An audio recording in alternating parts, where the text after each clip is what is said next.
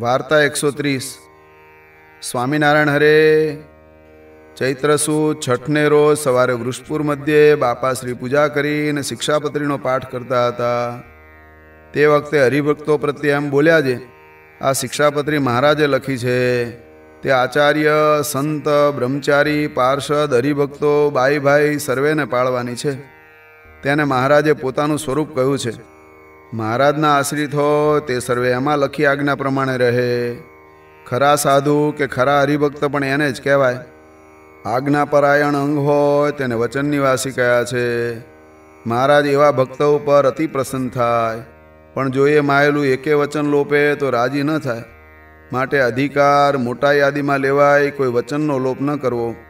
પછી બાપાશ્રી ઠાકોરજીના દર્શન કરી ઓસરીમાં સભામાં આવીને બેઠા. ને સૌને જય સ્વામિનારાયણ કહ્યા. પછી સંતો પ્રત્યે એમ બોલ્યા જે તમે મહારાજના સંત છો. તે મહારાજ વિના બીજું કાંઈ ઈચ્છશો નહીં.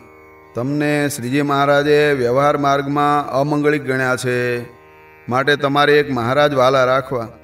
ત્યાગીની રીત ભૂલીને ગ્રહસ્થને માર્ગે ચલાય તો મોટી ખોટ આવે. માટે કોઈ સંત મૂર્તિ વિસારીને અમંગળિક થશો નહીં. અમંગળિક તે શું? તો દ્રવ્ય ખેતર આદિ રાખવું તે. તેવું કાંઈ ન હોય ને એક શ્રીજી મહારાજની મૂર્તિ હોય તે ખરા માંગલિક.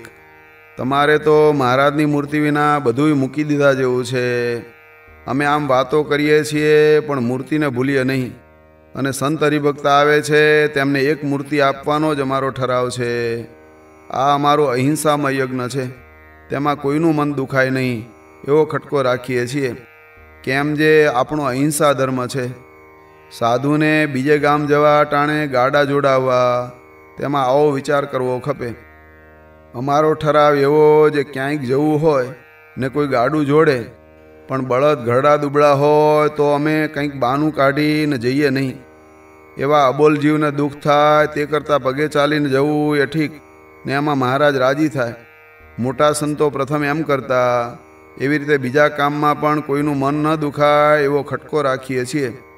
અમે આ યજ્ઞમાં સૌને કહ્યું જે કોઈનો બળદ માંદો હોય અથવા ગરડો કે દુબળો હોય તેને ગાડે જોડવો નહીં કોઈ એવાને જોડે તેથી તેણે પરાણે ચાલવું પડે.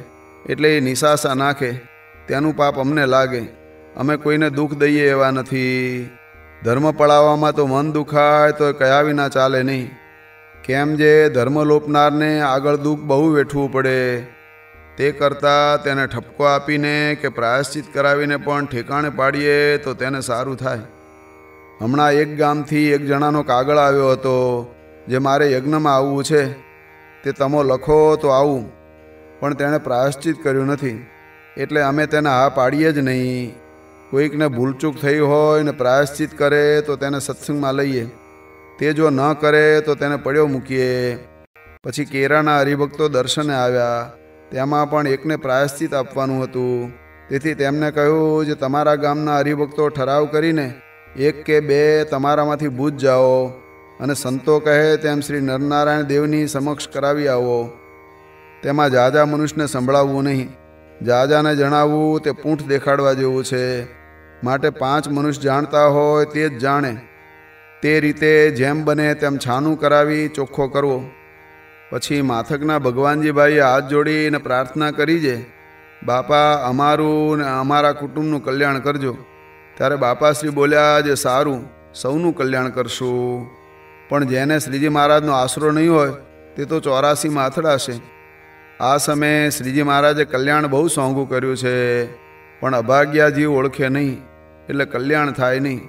જો ઓળખે તો મહારાજ તથા મહારાજના મુક્ત એક ઘડીમાં મોક્ષ કરી દે એવા છે. અમારી દ્રષ્ટિ તો એવી છે જે નજરે ચડે એટલામાં કલ્યાણ કરીને મૂર્તિમાં મૂકી દઈએ. પછી વતનામૃતની કથા થઈ રહી. ત્યારે બાપાશ્રીએ કૃપા કરીને વાત કરી છે સત્સંગમાં જેને દિવ્ય ભાવ આવે તેને મહારાજને મુક્ત સર્વે તેજોમય ભાષે આ મંદિર, મેળી, ઘર, ઓસરી સર્વે તેજોમય છે. તેજનો અંબાર છે. વચ્ચે મહારાજ બિરાજે છે. એ મૂર્તિમાં અનંત મુક્ત કિલ્લોલ કરે છે. ફરતી સભા બેઠી છે, સર્વે તેજોમય છે.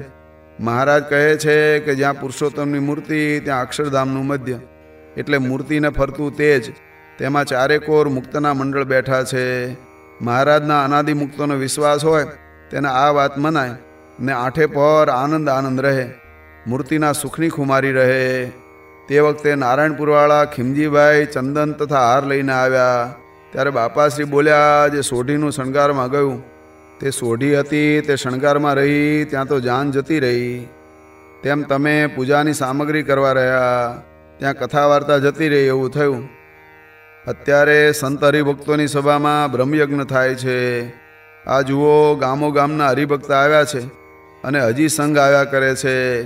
સભામાં કાંઈની કાંઈ વાતો થાય છે. મૂર્તિના સુખના અમૃત ઘન વરસે છે. માટે અત્યારે તો જેટલો લાભ લેવાય તેટલો લેવો. એમ ખીમજીભાઈ નિમિત્તે સૌ સંતરી ભક્તોને મહિમા સમજવાની વાત કરી.